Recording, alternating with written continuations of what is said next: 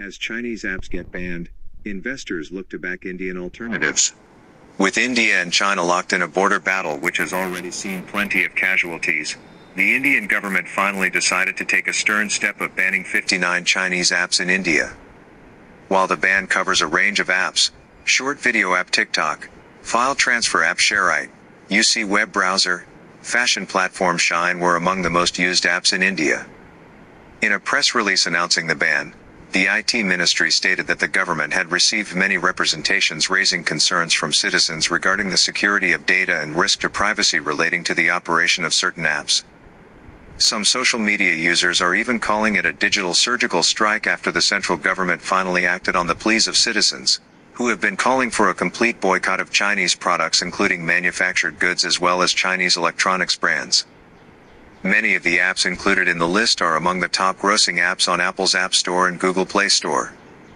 At least 15 of these Chinese apps have regularly featured on the top 50 lists on the Play Store. Now that these applications are officially banned by the Indian government, users are looking for different apps with similar functionality. While many of the banned apps have direct Indian replacements, there are some categories where there are no Indian offerings, or the apps themselves don't have a sizable audience. Given the high buzz around the ban, many Indian apps could come up as replacements in any of the below categories. While TikTok has undoubtedly become a sensation among the Indian youth, with over 611 MN downloads and over 200 MN monthly active users, including several celebrities. Roposo is its Indian competitor with over 55 MN downloads and 25 MN monthly active users. Other Indian alternatives to TikTok include Mitron and Chingari.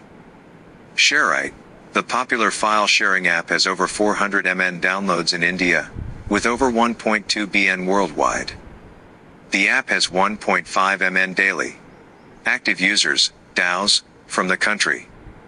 GeoShare is one of the Indian alternatives, though most of the primary competitors are international companies. It must be noted that SHAREit had an active involvement with the startup ecosystem in India. The company had acquired Fastfilmz in May 2018.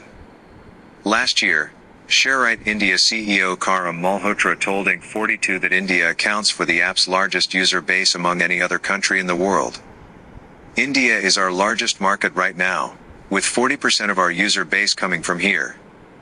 We initially focused on product market fit, and what we realized is we understand what people share. So we understand the apps they share, the games they share, the videos, images, Malhotra told us. Popular e-commerce apps like Shein and Club Factory, too are included in the list. These companies have a prominent share in the fashion e-commerce space in India, but have attracted plenty of controversy over the past year for allegedly importing orders into the country as gifts and avoiding customs duties. Even before the ban, the downloads of several Chinese apps had started falling since the start of June, once the face-off between the forces escalated. And now that an official ban has been announced on these apps, users are quickly adopting many of the Indian alternatives. And now with the attention on Indian apps, even VCs and investors, including Balaji S. Srinivasan and Prayank Swaroop Dash are coming together in an effort to back competitive alternative apps for the Indian market, willing to fund the right app ideas. It must also be noted that India is a huge market in the overall global app economy. App Store research firm AppsFlyer's State of App Marketing in India report in December 2019 pointed out that almost 41% of the top 200 applications downloaded in 2019 were Indian. Meanwhile, Chinese apps made up 38% of the list. Last year, Indian apps too were at 38%. In total, Indians downloaded close to 6.5 BN applications between the second quarter of 2018 to the third quarter of 2019. The report also highlighted at least 3.3k apps had over 1k monthly non-organic users. The data sample also includes 7.8 BN apps that were opened in the same time frame along with 1.5 billion retargeting conversions.